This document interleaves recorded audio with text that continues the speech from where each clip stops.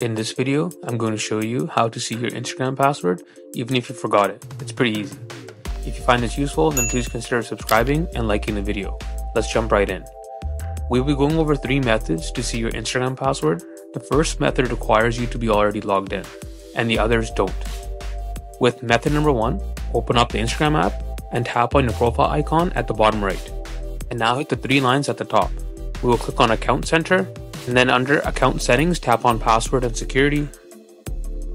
Now here you'll notice change password. If you tap on that and choose the Instagram account you're trying to find the password for, of course for security reasons Instagram won't provide it, but will give you a hint as to when it was last updated. Now let's go back and tap on saved login.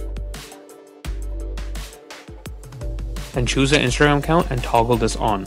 This is a feature that works on both Apple devices using your iCloud account and Android devices using your Google account.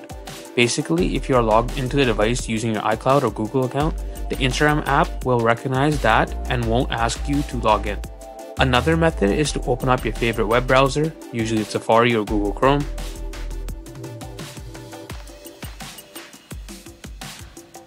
Simply navigate to Instagram.com and tap in the username field.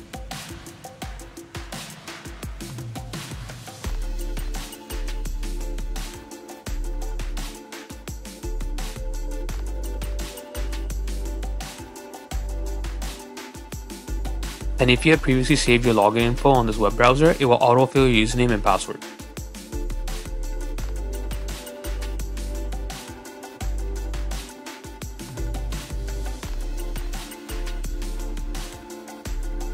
And right next to password, there's a little icon that will reveal your password. Of course, if you didn't save your login credentials for Instagram in your browser, this will not work. And the last method would be to simply tap forgot password and work through the steps to change your password. I hope this helps and if it did, please hit the subscribe button below, it really helps me out.